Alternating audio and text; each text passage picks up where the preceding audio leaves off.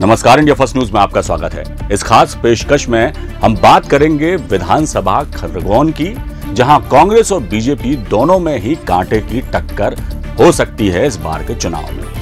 क्या है यहाँ के सियासी और जाति समीकरण? आइए आपको बताते हैं। खरगोन विधानसभा क्षेत्र में तीन बार से भाजपा का ही विधायक है। इसमें दो बार से लगातार बालकृष्ण पाटीदार विधायक। 2003 में वर्तमान भाजपा जिला अध्यक्ष बाबूलाल महाजन विधायक रहे, जबकि उन्नीस सौ तिरानबे और उन्नीस में कांग्रेस के परसराम डंडी विधायक रहे। इससे साफ़ है कि किसी समय कांग्रेस के दबदबे वाली ये प्रतिष्ठित सीट वक्त के साथ भाजपा की झोली में आ गई। भारतीय जनता पार्टी इन दिनों जहाँ संगठन के दम पर विकास यात्राओं के साथ चुनावी माहौल तैयार कर चुकी है, वहीं कांग्रेस फ़िलहाल पिछड़ी हुई लग रही है यहाँ भी। आगामी विधानसभा चुनाव के मद्देनजर बालकृष्ण पाटीदार को राज्य मंत्री बनाकर मुख्यमंत्री शिवराज सिंह चौहान ने निमाड़ को साधने की कोशिश की है। हालाँकि भारतीय जनता पार्टी भी अंदरूनी गुटबाजी की शिकार है। उधर कांग्रेस की भी यही हालत बनी हुई है, जो भी उम्मीदवार टिकट लाएगा उसे पहले अपनी पार्टी की अंदरूनी गुटबाजी और नेताओं से लड़ना होगा। बहरहाल, लेकिन इस सीट पे एक बात मानी जा रही है कि दोनों ही प्रमुख दलों में सीधा मुकाबला होने वाला है। इस विधानसभा क्षेत्र की हम बात करें तो यहाँ कुल मतदाता है दो लाख उन्नीस हज़ार छह सौ इकतीस, दो सौ अड़सठ मतदाता केंद्र है। पुरुष मतदाताओं की तादाद है एक लाख तेरह हज़ार दो सौ अट्ठावन और महिला मतदाता है एक लाख छह हज़ार तीन सौ तिहत्तर। दो हज़ार तेरह के परिणामों पर हम नज़र डालें तो बालकृष्ण पाटीदार, जो भारतीय जनता पार्टी के उम्मीदवार थे, उन्हें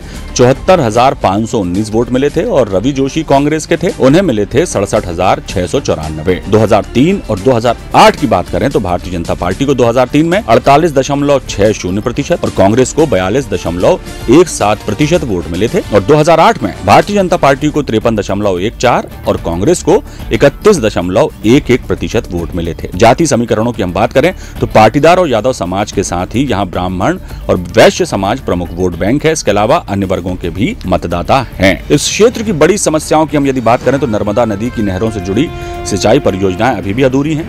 बाईपास निर्माण नहीं होने से यातायात प्रभावित है। कपास और अन्य उपज के पर्याप्त भाव नहीं मिलने से किसान परेशान हैं। शहर में कुंदा नदी को प्रदूषण मुक्त नहीं किया जा सका है अभी तक। 2018 में यदि हम संभावित प्रत्याशियों की बात करें तो बालकृष्ण पाटीदार तो हैं ही। विपिन गौर, कल्याण अग्रवाल और राजेंद्र सिंह राठौर भी टिकट के दावेदार माने जा रहे हैं। भारतीय जनता पार्टी ऐसी वही कांग्रेस ऐसी रवि जोशी जो पूर्व प्रत्याशी है, वो टिकट के दावेदार हैं। और परसराम डांडी, जो पूर्व विधायक हैं, वो भी टिकट के दावेदार हैं। तारकेश्वर यादव भी लाइन में हैं।